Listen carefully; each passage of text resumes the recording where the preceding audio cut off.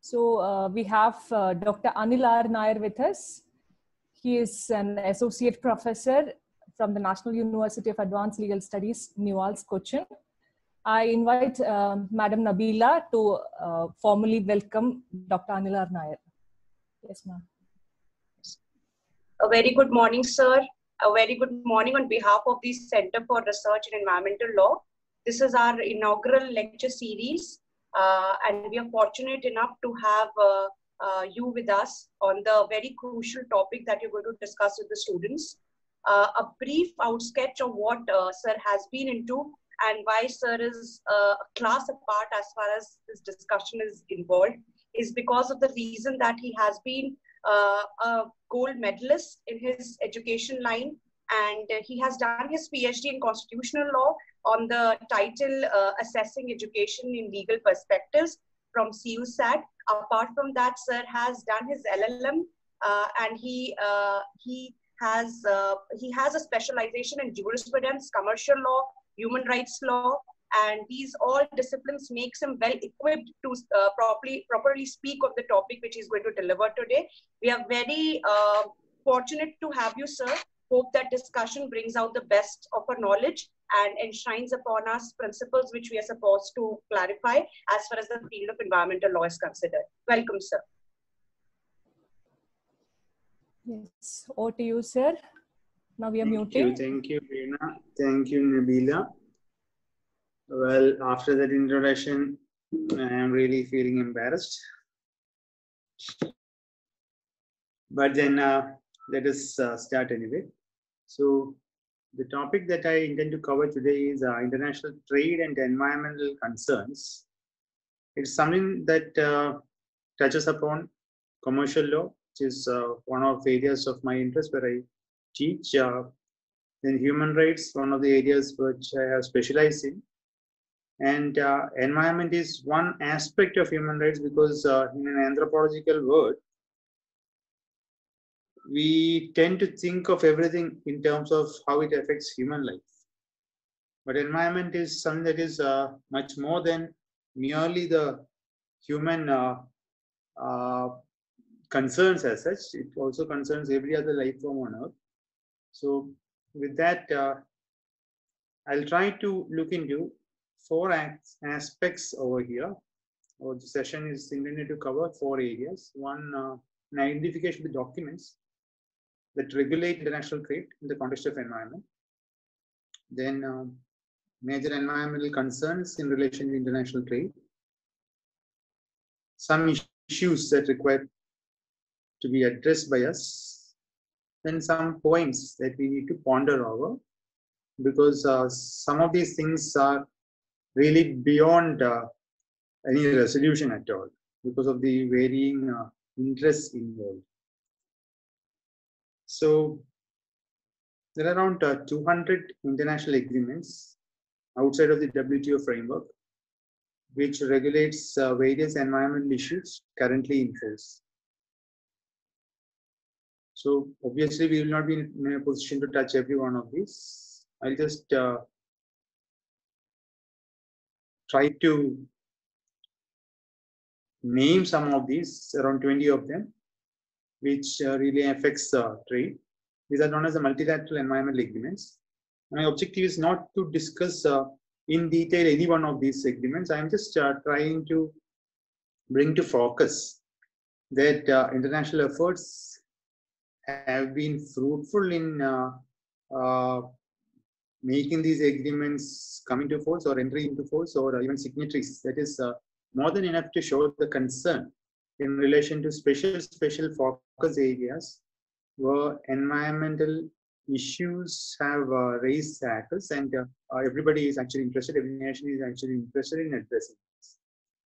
We have uh, one of the major uh, areas of uh, environment pollution happens to be the marine world. Three fourths of the world is covered with water, and we are yet to actually identify all the species that are on Earth. Because uh, the sea area, the ocean area that is covering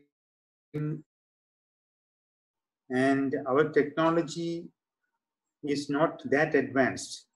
It's not just in relation to India, it's in relation to the entire world. The technology is not that advanced to actually enter the oceans at some depth and then see those uh, creatures, not just uh, the animal form, but also the plant form. Or plant form is usually confined to those areas where the sunlight actually reaches. But there may be other life forms which we do not really know of. And that area is increasingly get, getting polluted. And uh, in fact, uh, recent studies also show that microplastics, degraded forms of plastic, are found on the ocean floor to very great extent, to high depth, which we never thought was possible. And that too, you can uh, easily understand this problem because plastics is a very recent invention. It's not something that has been there for a long time. So, how beings have actually, through its uh, the, the so-called development agenda, introduced uh, its imprint on the environment in such a way that that environment is going to be something that is going to be really seriously affected in terms of uh, how other life forms actually come to perceive it. So it changes their own environment, it changes their ability to survive. So all those things are part of it.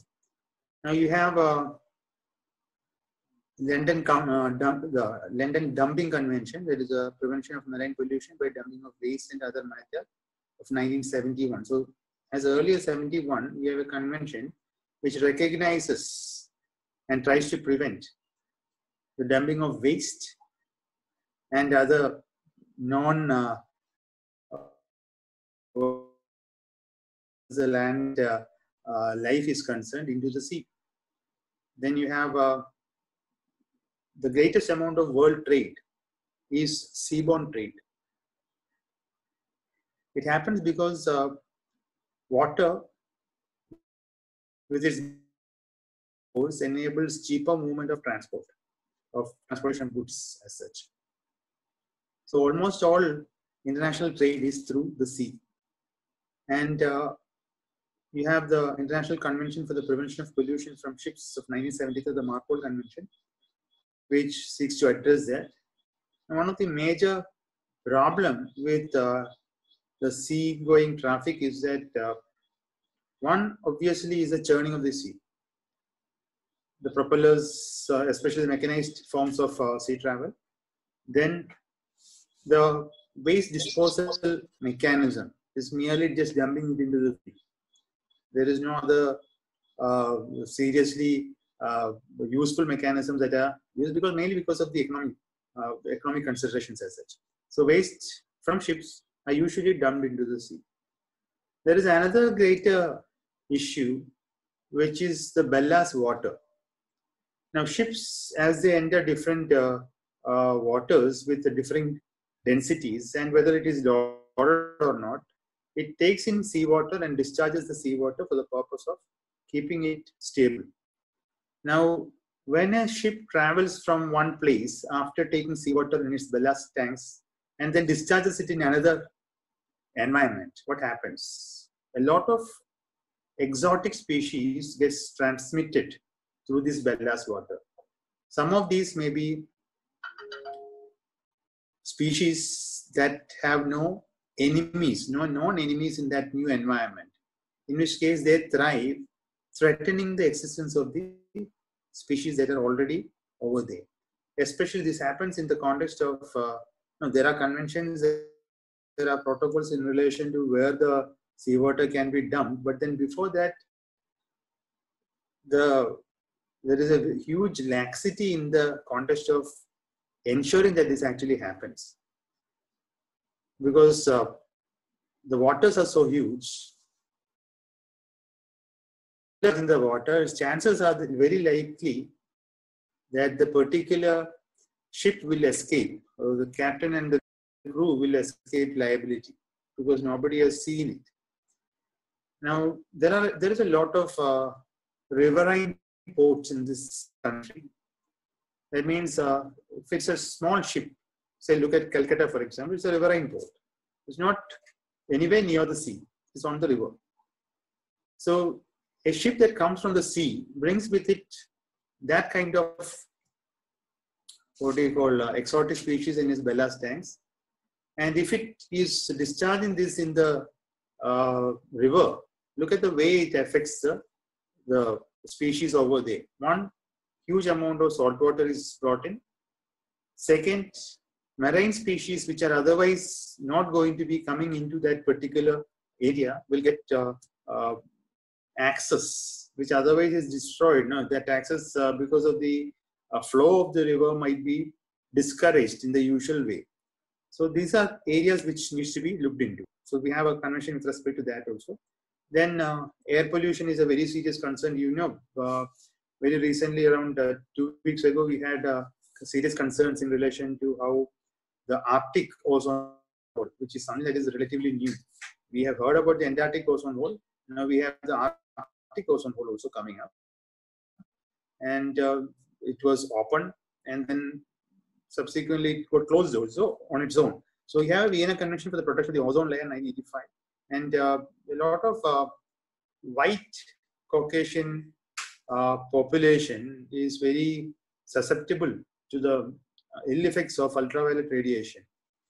So in the Antarctic, it is okay so far as these populations are concerned because there is nobody, no life form over there, no, no human being, no human habitat over there, apart from the uh, research stations. But if it is a hole in the Arctic, that means that all, almost all of the northern hemisphere is going to be affected in relation to that. So the in spite of having a convention in 80, uh, as uh, early as 85, our ability to actually reduce the ozone depleting substances is still something that is questionable. Then uh, you have uh, another one in 87, the Montreal Protocol on substances that deplete the ozone layer. Then uh, you have another one, Basel Convention on the Control of Transboundary Movements of Hazardous Waste and the Disposal, 1989. So the Basel Convention is in relation to preventing the movement of hazardous waste across uh, boundaries. Now, I'll discuss some cases in relation to why this Basel Convention uh, got that kind of an urgent treatment, especially in the context of uh, the northern developed world, bringing in uh, or exporting their pollution to the developing world. And the developing world, on account of either corruption or ignorance, uh, welcoming them. Now, we have a huge uh, market in India for recycled goods. And most of these recycled goods actually happens to be junk, electronic uh, junk that is exported from those countries where it is replaced by new ones. So effectively it is a pollutant. And then we receive it on account of our economic consideration. We find that it is uh, economically advantageous. And then what happens this junk? Once we are no longer able to recycle it, it's not uh, uh, it's not just that particular question. There, there are ethical considerations also involved. One is in relation to replacement of uh, products with uh, newer goods when something can actually be recycled. Then recycling itself has its limitations. So on one side, when somebody is saying that uh, we are recycling goods, it's something that is uh, environmentally friendly activity. But then on the other side, when that uh, replacement is no longer possible, then this electronic junk gets accumulated in a particular country which does not really have the technological know-how or the economic uh, um, might to actually reduce it and then reuse it to some other form. So that is one area. I'll, I'll discuss more serious issues in relation to the Basel Convention later on. We have the CITES Convention of 73, the Convention on International Trade in Endangered Species, which is again another area which uh, uh, is in relation to biodiversity also, which is very important, and uh, in relation to the current COVID epi epidemic also, because uh, we need to look into more and more uh, avenues whereby we can actually uh, create more pharmaceutical products, create uh, and ensure that certain species really survive because we don't know whether this actually carries an answer to the problems that we face today the end of a species means end of all possibilities associated with that particular species in relation to our ability to combat and uh, protect ourselves against adverse uh, environmental effects.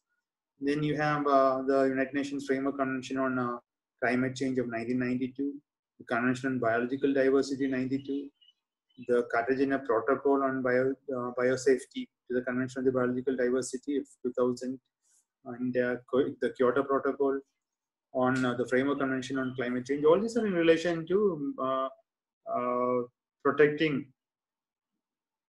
especially the context of climate change that is most concerned right now is the aspect of the heating up of the atmosphere and the consequent uh, melting of the polar ice caps.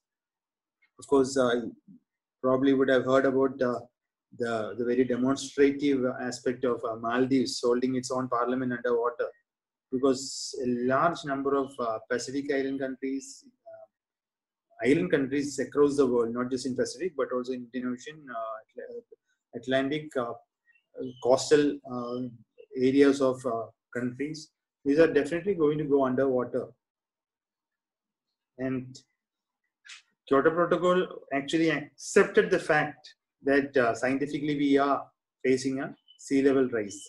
But then please understand that there are still naysayers in relation to this saying that all this is uh, actually not true.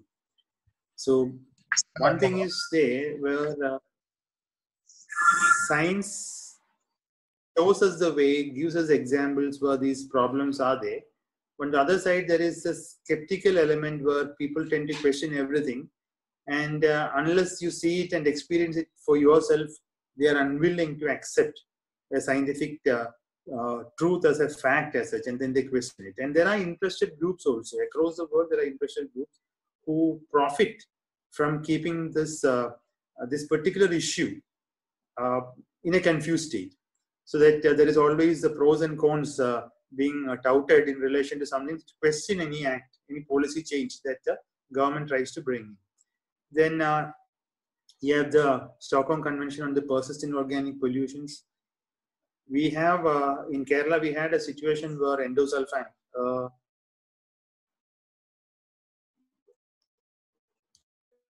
uh, consistently for a huge number of uh, years, uh, decades together, so that we have data to show that uh, there is uh, a problem associated with uh, somatic changes which happens on account of indiscriminate use of chemicals. Now the industry deals with these kinds of issues. So we are talking about trade. So how does the trading industry deal with these kinds of issues? When there is data to show that, uh, at least clinical data uh, in the laboratory settings, which shows that persistent use of a particular chemical in a particular area uh, creates effects in the DNA. RNA, the somatic uh, changes. The next generation gets affected. So what do they do? They ensure that there is no consistent uh, data of this kind by changing this particular chemical. So you will find that every, uh, especially in the context of plantation sector, they keep on changing the chemical so that there will not be any data to show that there is a, an associated linkage between the use of one particular chemical with a one particular change. So science gets duped. The people also are duped uh, similarly by uh, not having any consistent result because 10 chemicals have been used and you are showing one data. So which chemical has caused this particular change? So that will be the kind of questioning that uh, comes before the court. So the court will have to give the benefit of doubt. But uh, unfortunately or fortunately, because it was the Plantation Corporation of Kerala that was using it, uh, no, governments are very, government departments especially are very slow to accept change. So they continue to use the same chemical. And so we have some data to show that there is some uh, adverse effect of this kind. Otherwise, the courts are very reluctant to intervene in these kinds of situations because the data as such can be scientifically uh, made confusing. Then uh, you know about the Minamata Convention on Mercury 2013, which uh, Minamata disease because of mercury poisoning is one that was uh, very widely reported earlier and some that uh, is thought to be addressed. Now, you know, uh, the number of cells, battery cells that use mercury has come down drastically and alternative technologies are being adopted, though they are more costly for the purpose of serving, serving the same. situation. Now, apart from uh, this, I'm not going into all these uh, agreements. I'm just giving an idea of the kind of environmental concerns. Now, we have under WTO also and its elite agreements also the green provisions in relation to how the uh, world as such looks into the concerns of environment. We have a GATT Article 20, where policies affecting trade in goods for protecting human, animal, or plant life for health are exempt from normal GATT disciplines under certain conditions. I'm talking about GATT 1994, the General Agreement on Trade and Tariff. So, what uh, WTO across now, when you look into TBT, the uh, sanitary, phytosanitary uh, measures, uh, all these uh, agreements of WTO, what it tries to promote is sovereignty over environmental concerns so far as the state is concerned. There is absolutely no bar for any state to do whatever it feels is the best in its best interest to be done for the protection of its environment. There is absolutely no bar. What WTO tries to ensure is that these environmental concerns are not brought in a way where it actually restricts movement of goods. It means I can I am not as a country supposed to cite an environmental concern where my actual aim is not the environment but a protective strategy to protect my industry.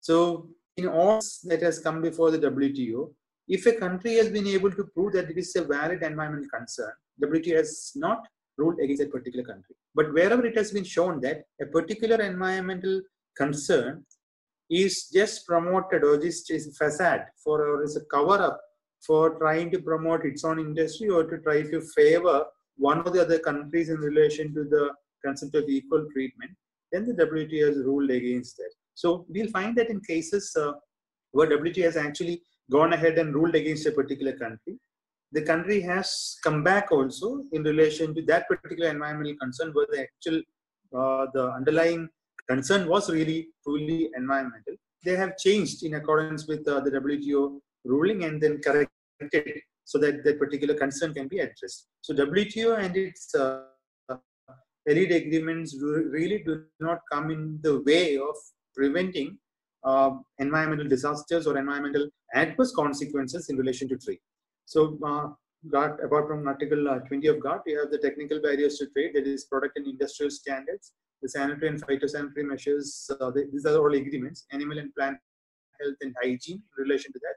These are all explicitly recognizing the environmental objectives.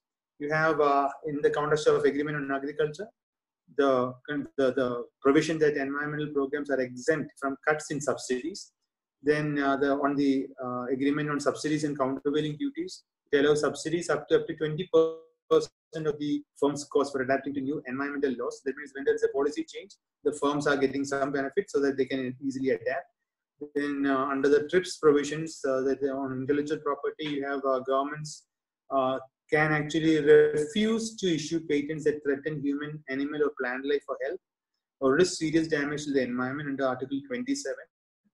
So, WTO and its uh, provisions uh, are relatively, uh, though organized by the by interested parties, are not really uh, in the way of uh, protecting the environment. You have another uh, thing under the General Agreement on Trade and Services under Article 14, policies affecting in services or trade in services uh, for protecting human, animal, or plant life or health are exempt from the normal GATS disciplines under certain conditions. So even in the context of not just uh, movement of uh, goods, but also in the context of uh, services, you have uh, these provisions under WTO, which allows for the uh, states to actually take care of the environmental concerns and the trade regulating uh, international body does not have any uh, intention or any uh, provisions which actually stands in the way.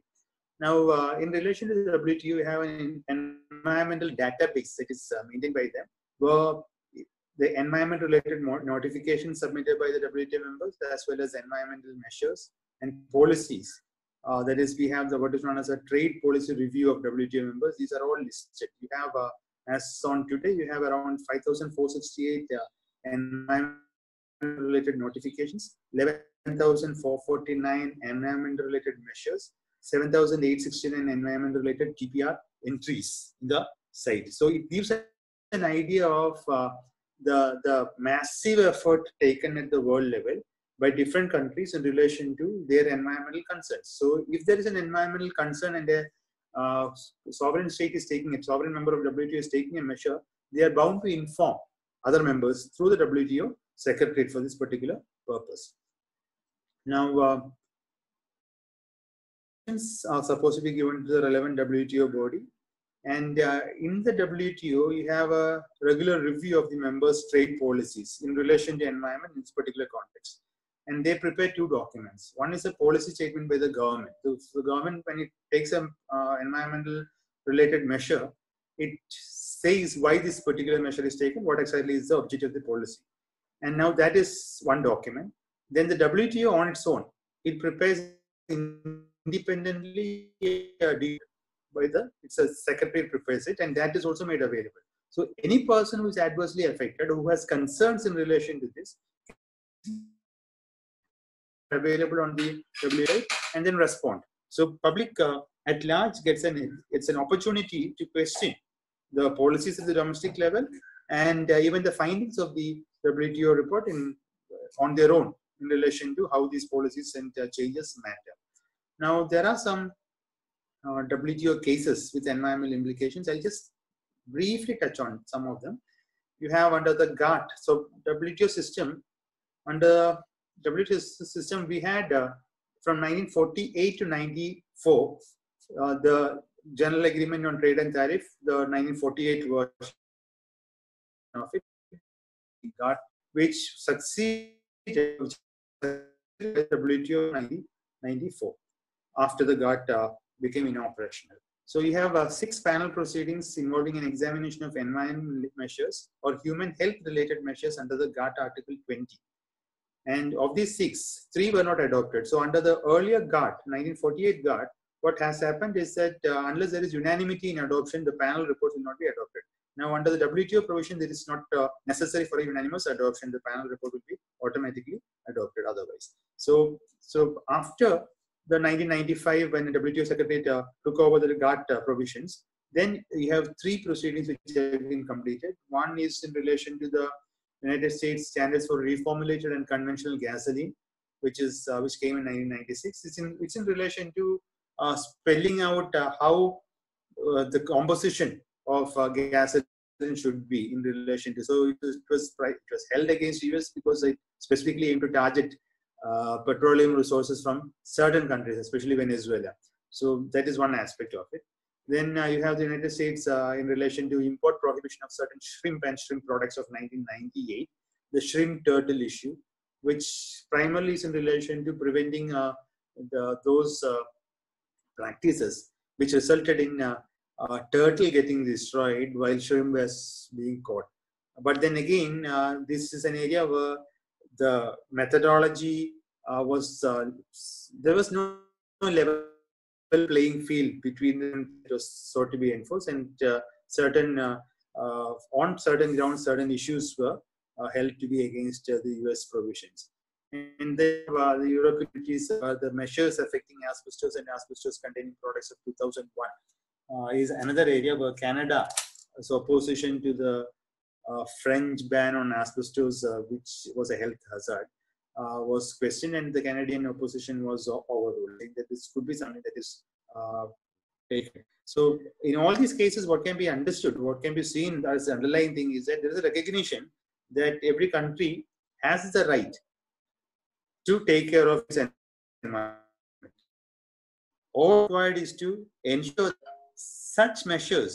So the environmental concerns, if it can actually be met using some other measure, some other non-discriminatory measure, some other alternative trade restrictive measure, then whichever, whichever is the measure that is uh, least trade restrictive, that has to be promoted. So if there is an alternative measure and the country is not uh, taking that alternative measure, then the WTO may rule against the country. So the objective is very clear. If the concern of the party is environment, then the country is free to take all measures to protect its environment. But when the country takes a measure, it needs to justify it as the only avenue it can. Now, when you say only avenue, I am not uh, uh, on the aspect of uh, alternatives in the context of where there is uh, scientific uncertainty. So sometimes uh, there, which is the best measure may not be something that is actually available for sure to be understood by any country. In that case, the country gets the freedom to adopt whatever is the best because we have what is known as the precautionary principle also uh, governing these transactions. Now, uh, let me see. I'll just skip uh, one or two slides in relation to that discussion on the cases of uh, this. Then we have what is known as the US tuna dolphin cases. Well, again, unlike the concept of uh, the shrimp turtle, the turtle was thought to be protected. Now, uh, from 70s, an ongoing dispute was there between US and uh, Mexico in relation uh, Mexico into the US. Three different cases were there. Uh, everything revolves around a particular fishing technique. So when uh, tuna is what is known as a shoal, uh, shoal fish in the in the context that it travels in shoals, S-H-O-A-L, shoal. So it travels together. So you have one fishing method where you use what is known as a purse seine uh, net, where the net is something that is very similar to a wall, uh, a wall kind of a thing, which is uh, used by a trawler, which travels around the the shoal of this particular species that it wants to catch, and then after encircling it, the purse is sealed from the bottom. That means the net is uh, uh, holding from the bottom. So the wall is there and the bottom gets sealed. So the wall is uh, held as a wall because of the buoyant, uh, the buoy is used at the top of the sea. So on the surface there is a buoys and the, at the bottom there uh, what is known as uh, rings, which through which a lead line passes, and the entire thing is uh, wrapped up as a purse. So anything that is there in this particular area gets trapped over there. So if it is purely shellfish, fish, it's not a problem because you can easily collect all adult juveniles, whatever the entire that particular shoal is holding.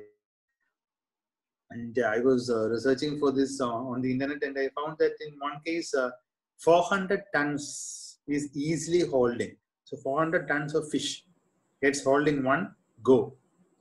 So that is one of the average kind of a thing. So you can imagine the amount of fish, the quantity of fish that gets uh, hauled in by a uh, properly equipped vessel. Now, there are two impacts on this with uh, shoals of tuna. And dolphins also get entangled. And dolphin uh, is something that is requiring conservation because it's one of the most uh, important mammal species uh, found in the water. So US is very progressive in trying to bring that over there. But then uh, the Mexican argument was primarily that uh, the process should not matter because tuna caught by whatever means, it's a product once it is packed and tin. And so the measures taken by US for the purpose of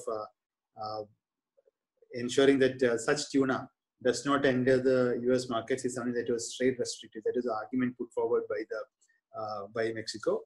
So, so that is one uh, way in which uh, these countries uh, fight it out in for the WTO, trying to make something appear to be what you call uh, distanced from the major environmental concern as such and reduced to a mere commodity kind of a thing. In which case, the environmental concern takes a uh, is relegated.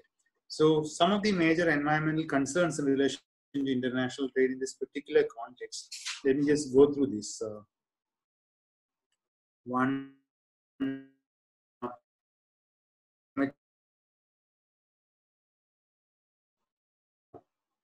is, uh, is the sea level rise and discuss about uh, Maldives and the coastal population is going to be the most affected across the world. And one should also, in this particular context, understand that the coastal belt across the world has the heaviest population density. That means a huge number of people are actually dependent both for lifestyle as well as for survival on this thin strip of land. So if there is an inundation of this land, we are going to find a large scale displacement of human population, which affects other areas. So one of the most fertile regions across the world is the coastal region, where the it's not just the sea as such, but it's also a place where there are backwaters and where the rivers uh, uh, bring in their fertile alluvial deposits. So cultivation is very important. Then these are all areas that are going to be adversely affected because of a sea level rise. One uh, is the actual destruction of the habitat. Second is uh, the uh, freshwater resources getting contaminated by areas that requires to be addressed. Then uh, you have environmental degradation. We have seen that uh, loss of forest, forest cover due to the ranching operations. Look at how the Brazil uh, Amazonian forests were burned purposefully. You'll find similar situation in Indonesia and Malaysia where the palm oil uh, belt, uh, the oil palm belt uh, actually puts fires to clear up the bogs, the peat bogs the marshy lands where there is a huge deposit of peat underground which catches fire and it's never it's a, it's a never ending process once a fire gets started. You cannot uh, extinguish it hope to extinguish it. So there's a huge environmental degradation that happens primarily for the purpose of trade. So i'm connecting it in this context because ranching operations are not really meant for the domestic market. You are uh, uh, grazing cows for either meat or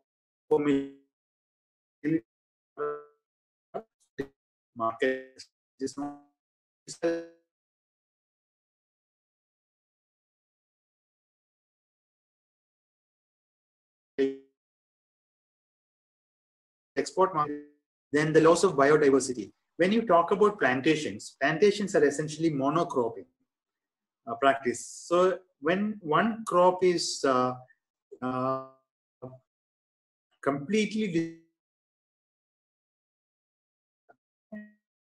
that particular area completely changed. All that were dependent on the natural forest is extinct in that particular area. They don't have the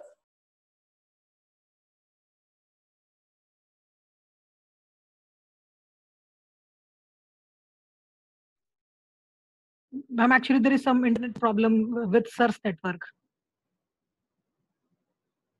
Yes, shall we, ma'am, shall we re try reconnecting? Veena ma'am?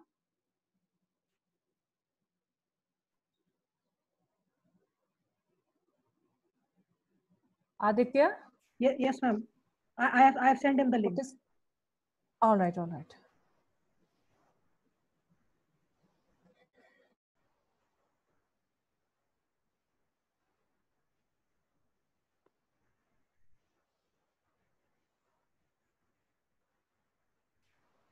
Am I audible now? Yes, sir. Yes, sir. Can you hear me? Yes. Okay. Okay. So we were on uh, the uh, the trade in the context of plantation segment, and then uh, I hope you heard that particular aspect. Now I am on uh, carbon sequestration issues. We use a lot of fossil fuels, which is ocean warming, extinction of marine life, uh, and it's a, it's a context of energy transfer also. So energy, which is stored as carbon deposits in certain areas of uh, the land or uh, of the earth gets transferred for the use of somebody else in some other parts. So what happens is that there is a change in the environment because uh, in a particular territory, it also determines what exactly is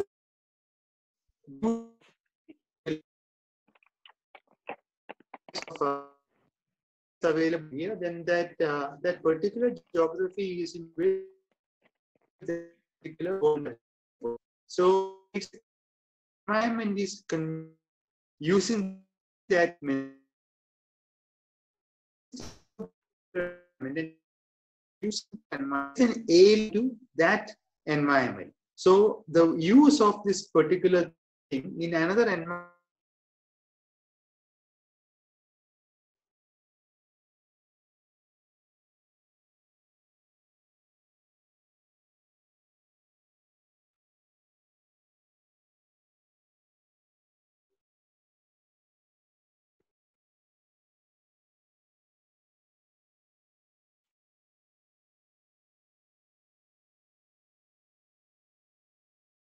yeah, once again. Mm, So we have uh, carbon sequestration uh, issues. Then uh, you have also there's exacerbation of uh, water scarcity. Now I'll just give you one example. When you, when a particular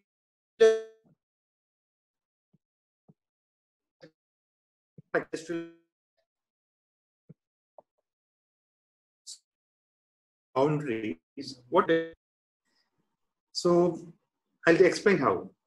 Rice, for example, requires a huge amount of water to grow. So when rice grains are exported, you are actually exporting the water that is used for the purpose of growing that rice. Industrial products, especially in the context of mining operations, finished products consume a lot of water. So that when the particular product leaves the boundary, you're taking the water with you. Now, this is an area where India as a country is a net exporter of water, and it is one of the one of the countries actually not having enough water for its population. Now, lost this way is mainly fresh.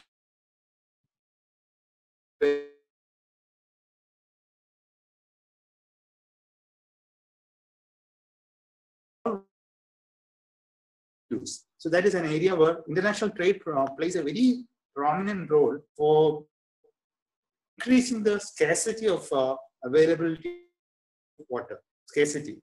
Then uh, you have uh,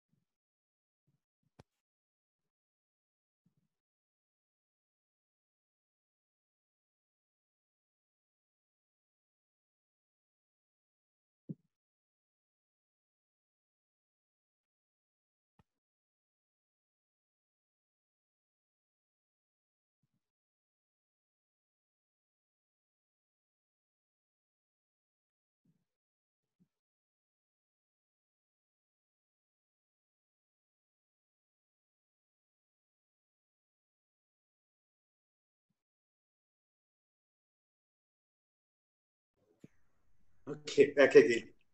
I hope this time is not going to break up uh, very soon. Yes, yes. So we have uh, uh, this connection where the use of chemical fertilizers and uh, most of the countries are not really uh, manufacturers. Is uh, it's made available across the world through international trade. Seeds also some uh, the way the the it's evolving. It's something that is actually grown somewhere, but uh, not made available or not actually grown in those uh, countries where the uh, there is a uh, potential use. So we have a huge uh, grain trade, which is transboundary in nature. We have a fertilizer trade and a pesticide trade also, which is uh, mainly connected with international trading activity. And uh, it results in extinction of species because uh, it affects the uh, environment, especially the land, in such a way that uh, it uh, destroys the fertility of the land. Then uh, there is a consequence on the indigenous populations. We are actually now promoting what is known as a monoculturalization of the world. Now, what uh, it means, the international or integration of uh, the cultures into the what is known as uh, in in uh, India probably it's a Bollywood culture that is predominant, but across the world it is a Hollywood culture that is predominant. So you have a uh, a vested interest in the global brands, which are all multinational in nature, which promotes one particular uh, choice. That means there is no choice. So it really results in threats to the indigenous populations and their cultures. It affects food security because uh, all those food grains that were earlier available will no longer be available because of industrialization of the farming or agricultural activities. I'll give you one example in the case of corn.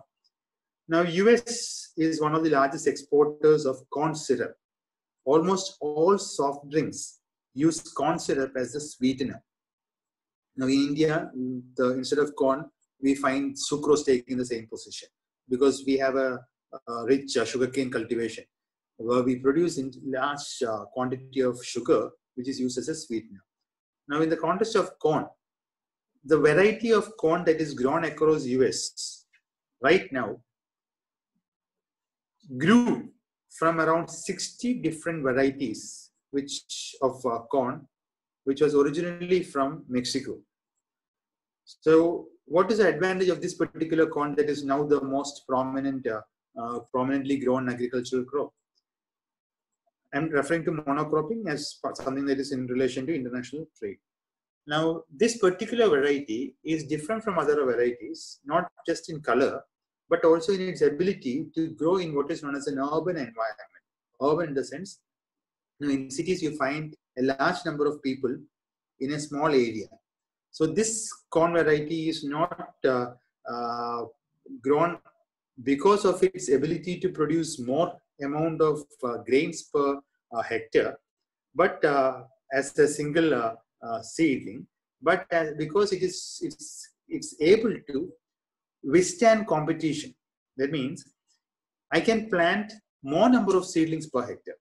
So the yield per crop per plant may not be high, but I can manage to bring in a larger number of plants within a smaller area so the net yield will be higher. That means because of this particular ability or uh, uh, quality of this particular seed, one particular seed variety gets to be grown across plantations, across hectares of land at the cost of losing out the traits of the other uh, varieties that were earlier available. So what happens to the remaining 59? It might be available in some lab somewhere where it is actually stored for trying out further research. But it is lost to the indigenous populations which conserved it and which promoted it and which was uh, using it. So biodiversity is lost once again. So this is an area that uh, uh, requires to be looked into because international trade dictates the choices that we have. It uh, ensures that these choices become so entrenched that our available avenues and our available resources get completely monopolized for the growth of this particular variety. When we really may not know and or have a decision, be part of the decision making process as such, then uh, one another aspect is the dumping of transboundary hazardous waste. We look into the Basel Convention, and uh, I'm just uh, I'll just bring in two particular, or maybe probably because of lack of time, one particular case. I'll give you the cases as such. So we have the Koko case in Nigeria and the Probo Koala case uh, of uh, Ivory Coast. These are two cases that I intended to discuss.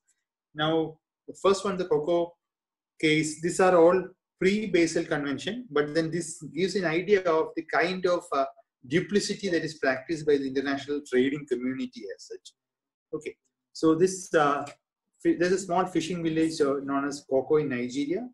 It uh, made international uh, headlines in 1988 when 18,000 drums of hazardous waste was found in this particular village.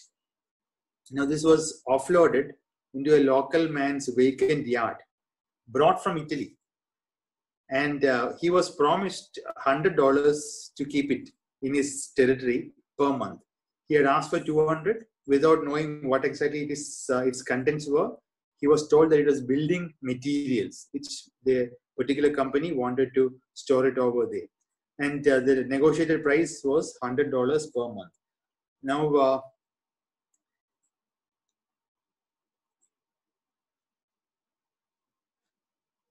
Italy was made accountable in this particular thing because of uh, the widespread publicity it received. People uh, uh, from uh, Nigeria who happened to be uh, studying or working in Italy came to know about it. They highlighted the problem with this particular uh, toxic waste, which was industrial uh, effluent that was stored over there.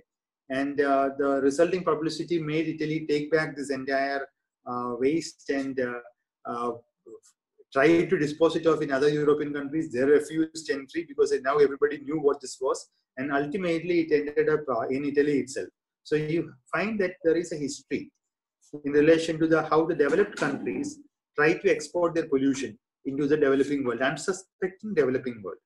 I know this guy who was actually storing it uh, for hundred dollars per month. He ultimately died of cancer also because of the uh, the uh, side effects caused because of the waste. So that is because if you knew that this is a danger, you would never have conceded or accepted this particular cargo. But then the international community will see a large number of um, multinational corporations getting incorporated just for the purpose of ensuring that you have access to a particular territory.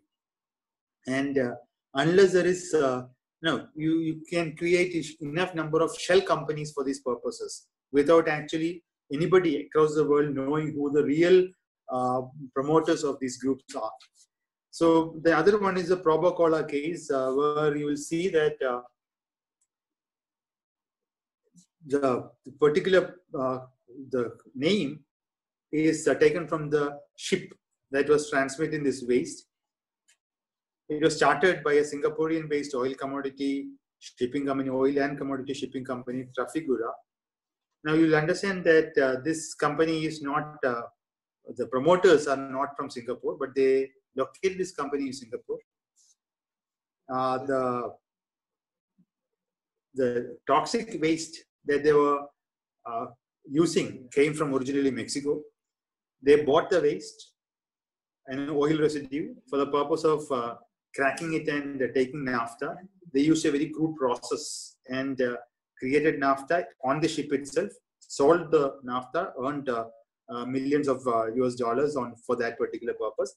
Then they went to Netherlands for the purpose of getting this waste recycled and uh, it contained a huge amount of uh, hydrogen sulfide. You know, hydrogen sulfide, the smell of rotten eggs. So everybody came to know about uh, this. They had unloaded half the ship's uh, uh, cargo for uh, recycling in Amsterdam.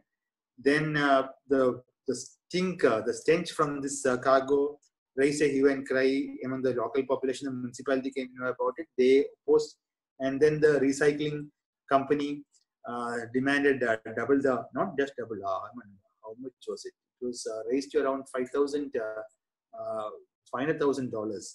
So it became so huge that the, they were unwilling. So after coming to know that uh, the cost of recycling is higher, uh, against the laws of Amsterdam, were once you import the cargo, once you realize it is hazardous waste, it cannot be exported without the necessary permits. They took back the cargo, created a shell company in Ivory Coast, transferred the cargo to Ivory Coast, gave this cargo to the uh, local contractor who dumped it in building dumps, different, different, different dumping grounds. They, over a period of uh, uh, days, they took the cargo from the ship and dumped it in residential neighborhoods, on the roads, in uh, uh, in dumps. Around uh, some 11 or 12 people, 17 around people died. 25,000 and more people got sick of this particular thing, and it became a larger issue. Now, please understand this. We have a situation where the pollution happens in one country. It is the pollutant because it is a product that has a usefulness of its own, gets traded. Another company, different multinational operator takes it. This multinational operator is located in different countries. They take it to different countries for the purpose of uh, one, recycling; second, uh, um, for reducing the toxicity, finds the cost to be higher than what they had actually anticipated. So the profit motive makes them take it somewhere else, and ultimately ends up in a dumping yard in a country which does not have any of these resources to identify the whether the once the one the toxicity of the issues or of the product, and uh, two, if even if it is willing, it doesn't have the technology to recycle the thing. So the people gets affected. Now the the most important thing that is to be uh, looked into is this Probo Koala, this ship, after this uh, incident, it was uh, meant for dismantlement in Alang shipyard in India. After you know, mul- multiple uh, name changes happened in between. Now it is uh, ultimately it's uh, in China in a shipyard being dismantled. So unless we are really aware of what is happening, you never know what ends up on your show. And in this particular context, long time 2006 was when it was discovered, and it's uh, the the dismantling of the ship is happening only very recently. So in between, multiple number of players enter. And the beauty about this is that international trade is taking place uh, across nations under the label of different, different, different operators. And when there is change of name or change of ownership between one operator and the other, we find the next immediate environmental concern, which is who is going to take a decision and who is going to fix the liability. Because uh, ultimately if you trace liability to a particular company they can always file for bankruptcy. And it's a limited liability company. So who then will take care of this so this is a problem which every state will have to address now in the context of uh, this uh, uh, the uh, Probo Koala case you'll find that multiple litigations happened. There was a settlement with Ivory Coast uh, by this Trafigura for around uh, 168 million US dollars, which uh, absolved them with respect to the company's liability assets. So the company's executives escaped unhurt. And uh, Ivory Coast, of course, prosecuted its own uh, officials and sent some of them to prison. All those things happened. But then accountability in relation to the compensation that is actually paid to the persons who suffered that is something that you know sometimes these are things which cannot really be compensated because if there is a death what amount of compensation is actually enough one second suppose the environment gets destroyed is there any possibility of that destruction if it is in the context of extinction of species or extinction of the particular surroundings can that actually come back at all so these are areas where we need to look into. Uh, so uh, finally, I come to this area where these are the areas, uh, these are the issues that we need to ponder over. One, in relation to bankruptcy of these different operators, economic bankruptcy, financial bankruptcy, how will we make them accountable? Second, change of ownership. And in between, different, different events happen. So who, unless we care, and then these people will be in different different jurisdictions. So international law doesn't really have a mechanism just like the criminal court kind of a thing, the ICC kind of a thing, where we can actually move across jurisdictions and uh, bring these people to account, uh, to uh, account for, uh, for, their actions. Then uh, there is a lack of regulatory control across nations to preserve the environment. So that is another problem. There are instances where one country may ban a particular item no, in the in relation to endosulfan, we banned India banned its use. The company that was producing it in the public sector had uh, around 2,000 tons of it. It wanted time from the government to export it. So we find the same situation happening in our country also, especially in this particular context, we find a government entity trying to export something that we ourselves find to be something that is not good enough for our people. So this is something that is really something that is disconcerting. So lack of uh, proper regulatory control across nations is something that needs to be looked into. Then uh, the ability of uh, multinational corporations to shift from one country to another to escape liability and uh, to prevent uh, the the capture of its uh, promoters. That is some area where there needs to be international cooperation, which is currently lacking. Then there is something else also conflict of interest within the government.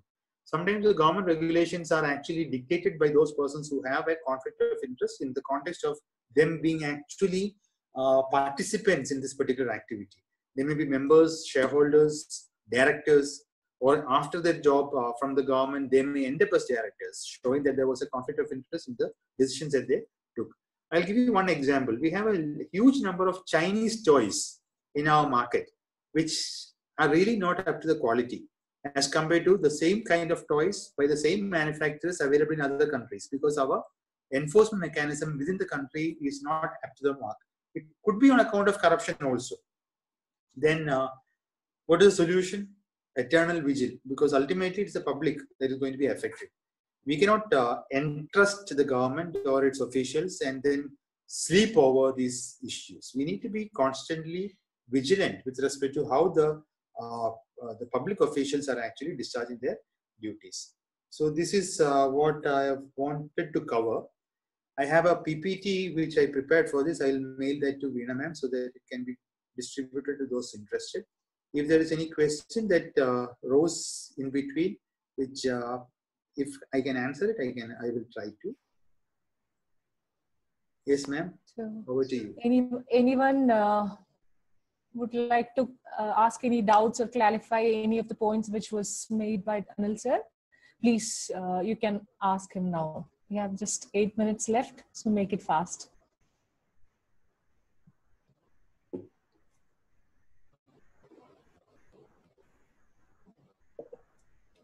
Any questions?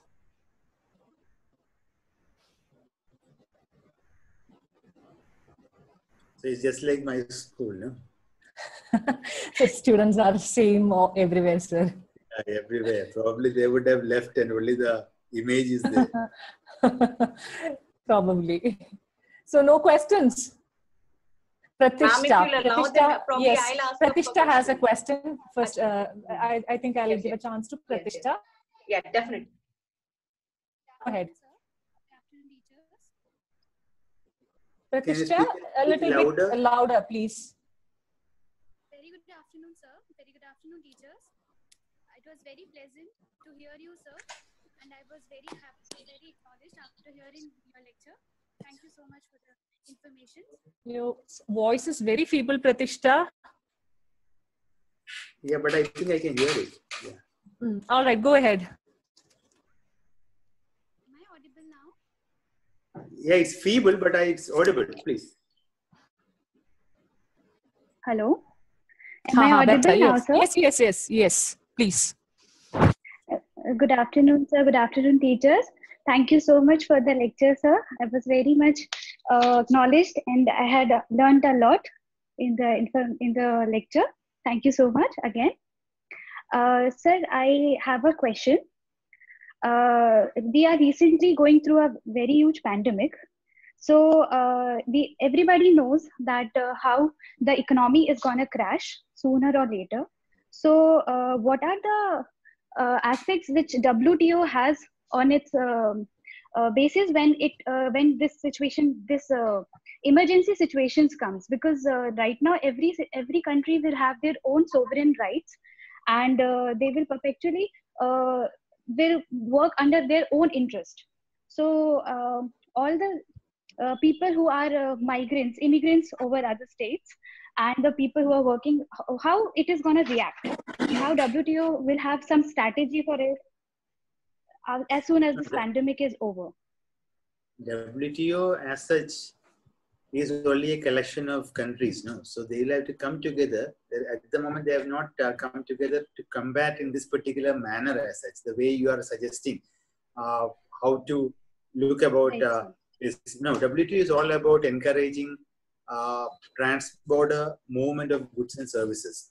So what we may see Right, in the immediate aftermath of COVID is uh, uh, is a requirement for transportation of uh, more products, especially in the medical supplies, probably vaccinations. And if there is any profiteering that is happening, probably that needs to be eliminated. That is in the interest of the general public as such.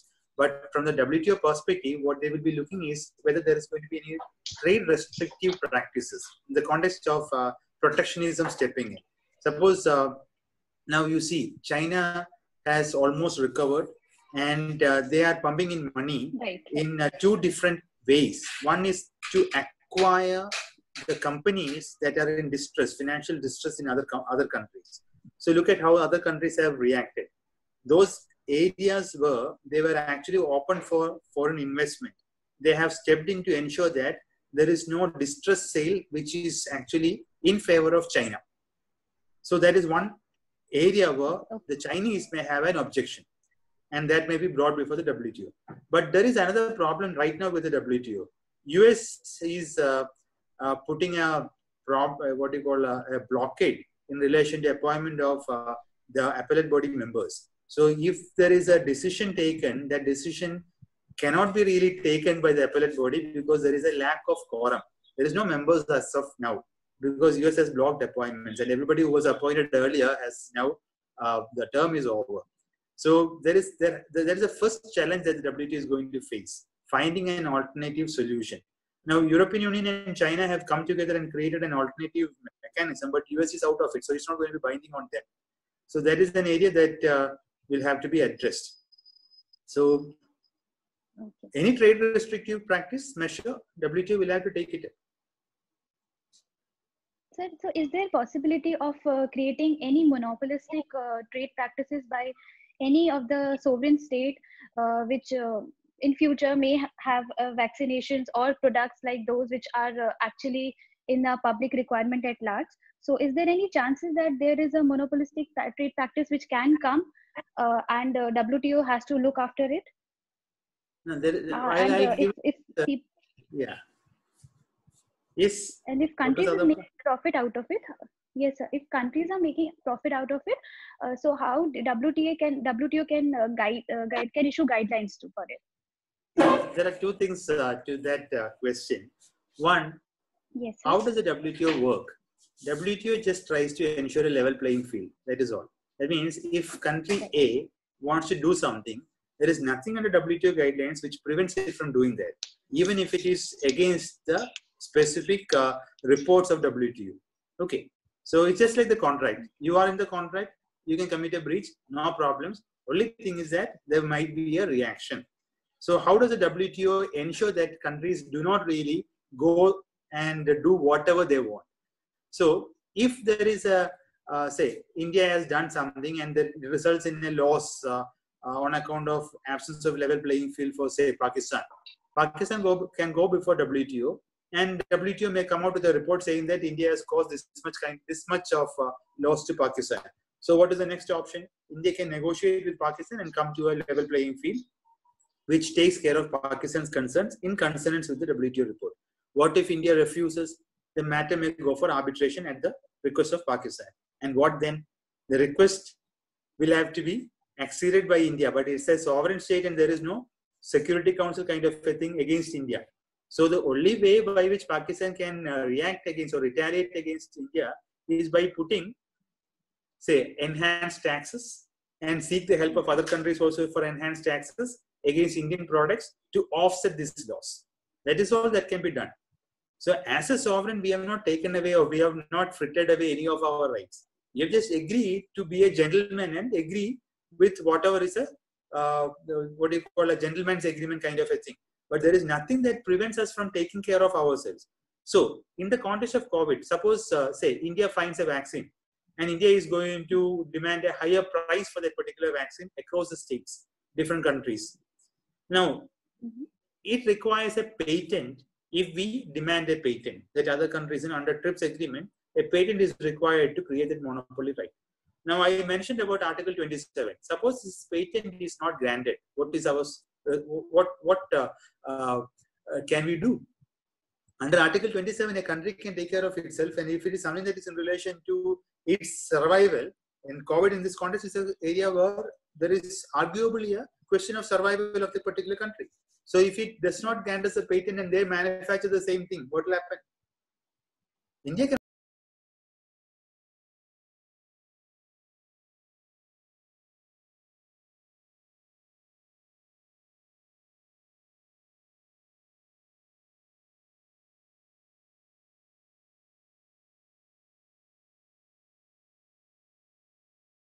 Yeah. So if there is a vaccine and uh, uh, we really are charging a highly uh, exorbitant price, the other countries may not be really willing to give, give us a patent. They may manufacture it on their own, and then what is our option? We can just challenge it under TRIPS agreement.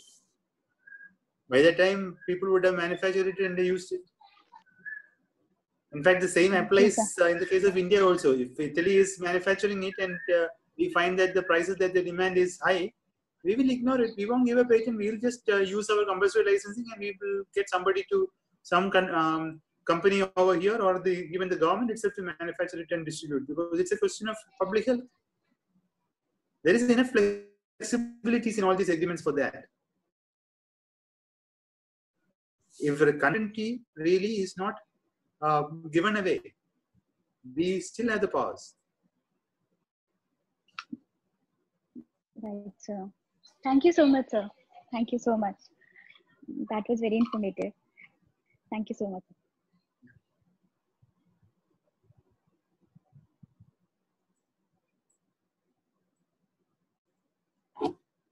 Any more questions that are lined up?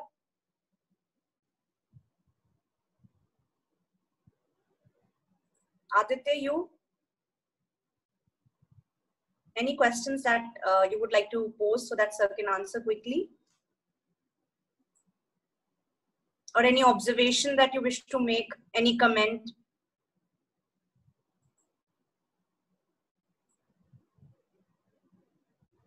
I think, sir, uh, uh, there seems to be no question on what you've put forward.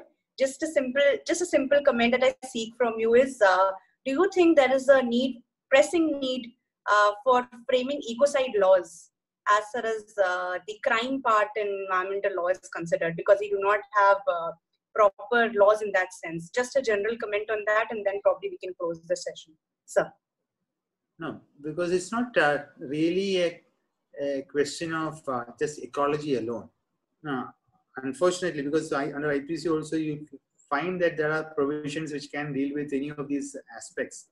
But then, uh, do we do we elevate uh, environment to be something that is uh, equal to say infanticide or uh, uh, murder or something of that kind? I don't really uh, think we need any extra specific legislation of that kind because ultimately what we are seeing across the world is not a purposeful destruction of the environment. We are seeing what is actually a consequential action because uh, the main aim is only profit. Two, it's uh, the concern is not really to destroy the environment but to make a profit. So when you talk about murder, the intention is to kill.